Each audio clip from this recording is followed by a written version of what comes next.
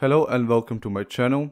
I am the DIY Ed and I will show you how I build this e-bike using an e-bike kit. So let's get started. This is the hub I will be using. Originally it came with a 26 inch rims. So I decided in the end to switch to 28 once I had to lace the wheel myself. I will show that briefly. We have the controllers with the waterproof connections we have the 4-in-1 cable which is used to connect the throttle, the LCD screens and the brake levers. And of course we have the battery pack which I built this one myself. I will use this controller instead I have purchased additionally. It fits under the battery pack, actually it's the mounting base for the battery.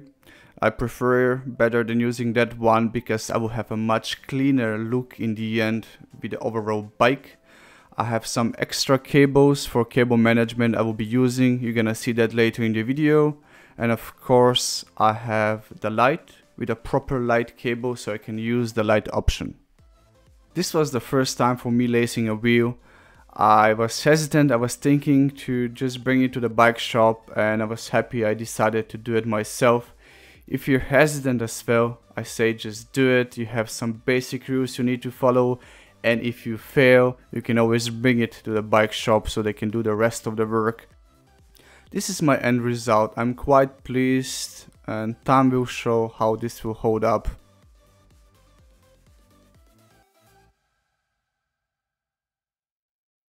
Now I need to prep the wheel. Before I can add the tube and the tire, I need to put a rim tape. If you don't have any bike tape you can use electrical tape it will do the same job. There's no need to buy one if you don't have it.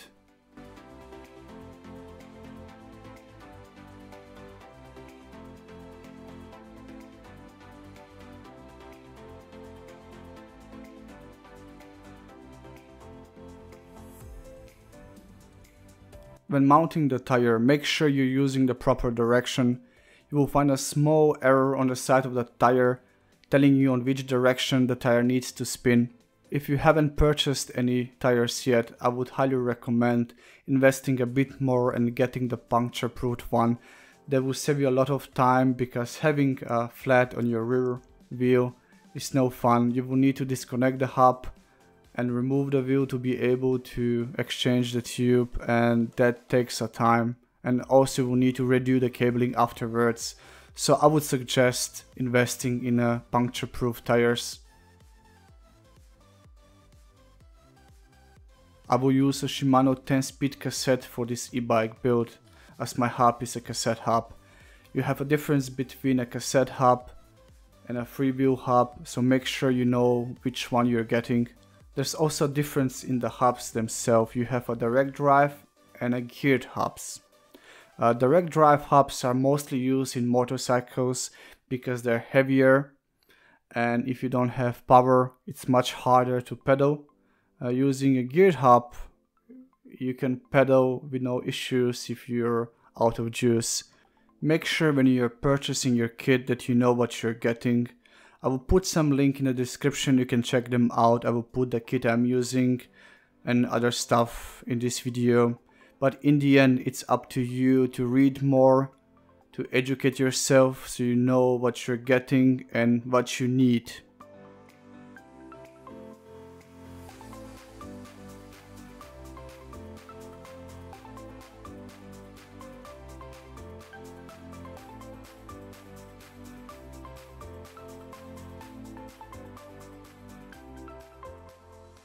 I will spend the time to do the cable management properly I know there are a lot of people and videos saying you can build an e-bike with a kit under a few hours, which is certainly true, but that's not the way to go.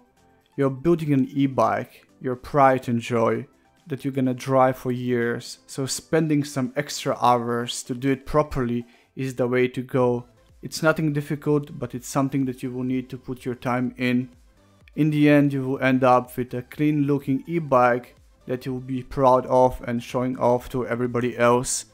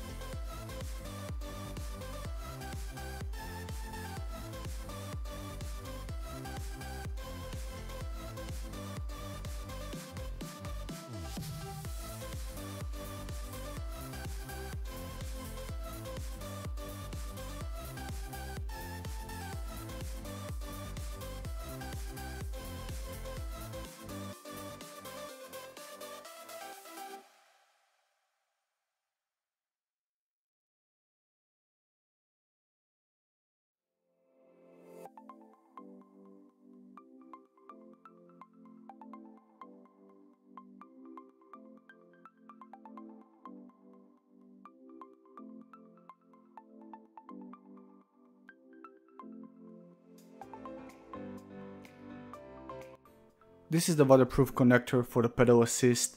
I forgot to press record, so I will tell you what I did. I used a hot glue to put it in place. I also mount the sensor on the bottom side because it's better for the cable management. Most of the people are putting it on the top, but there's no need.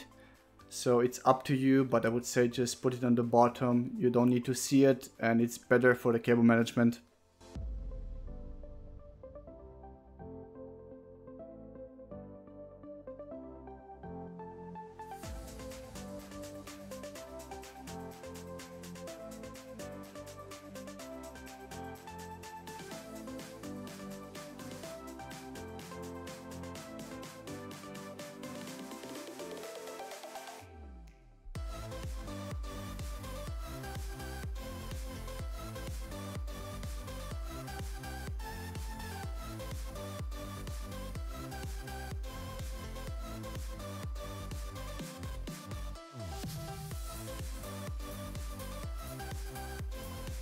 I'm mounting the battery base for a second because I need to mark where I need to drill the hole. My plan is to drill a 23mm hole so I can feed the cables inside the tube. I purposely choose this frame because it's more of a heavy duty one, it's thicker and it can handle the stress. So if you're planning to do something similar, make sure your frame can handle it. I will show all the process and I will also use my 3D printer to print a small gasket with a flexible filament to cover the hole.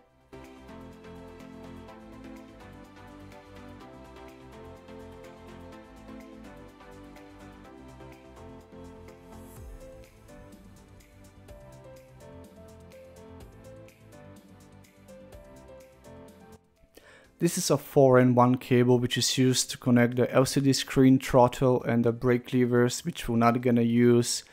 I will feed the cable inside the tube and take it out from the other side from the hole I have created. Afterwards I will solder the light with a proper connector.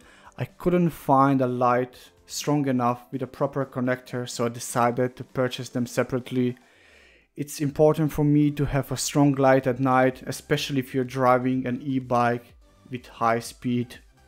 So make sure when you're buying an e-bike kit that your controller has a light option. This is something that you don't think about but down the road you would wish you did. What's the point of having a huge battery and your light source needs to be powered by something else?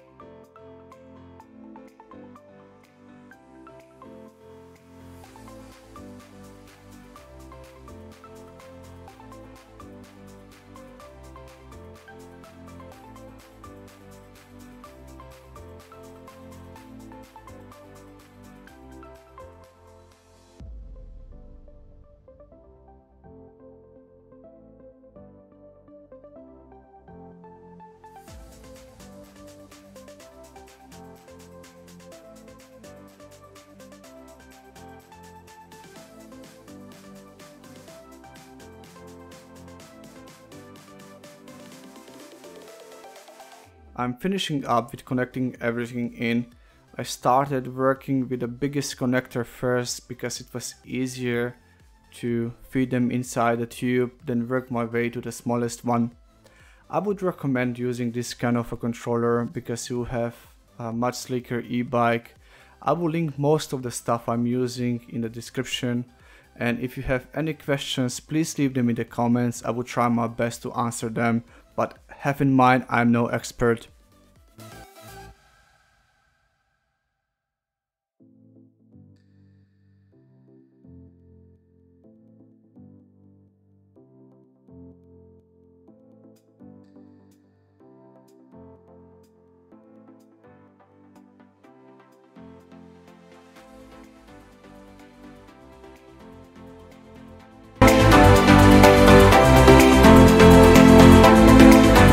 Have printed a 3D gasket to fit the hole I have made.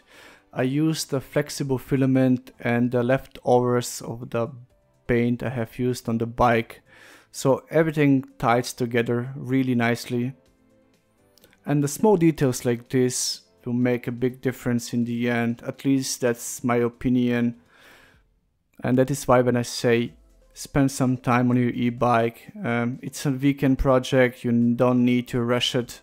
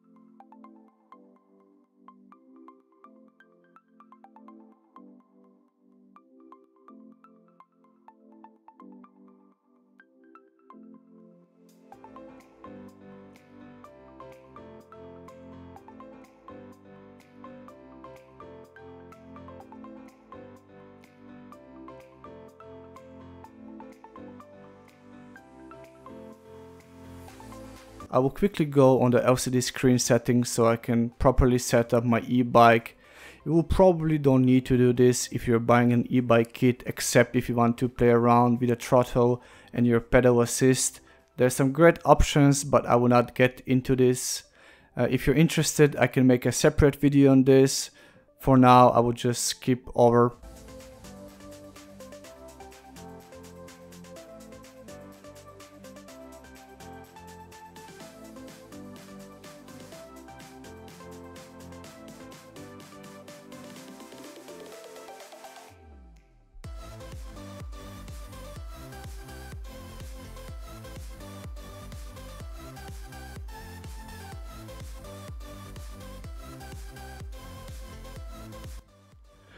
Putting the seat on is the last thing I need to do before I'm finished and ready to drive the e-bike.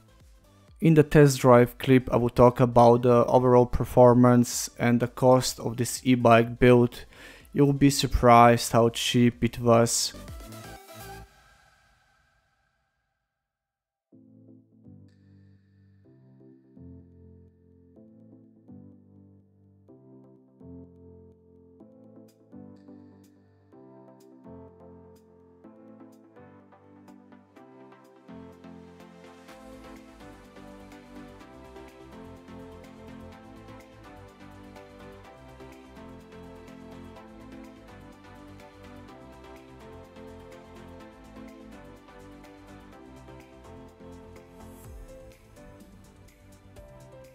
The hub is rated for 350 watts but peaks above 650. In my testing I was able to quickly reach a constant speed of 36-37 kilometers per hour and I am a 105 kilo rider.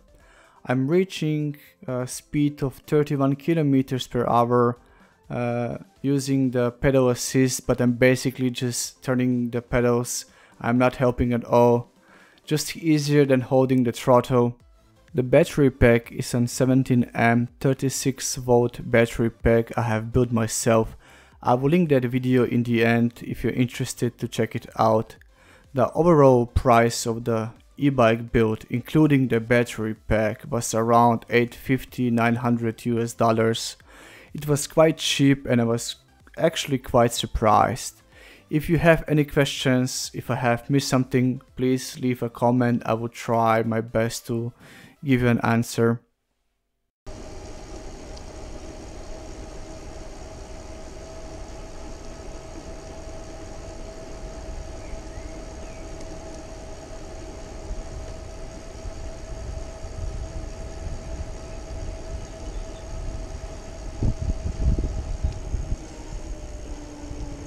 I hope you enjoyed this video and find it helpful. If you did, please put a thumbs up.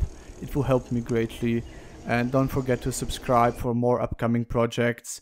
Thank you for watching and see you in the next video.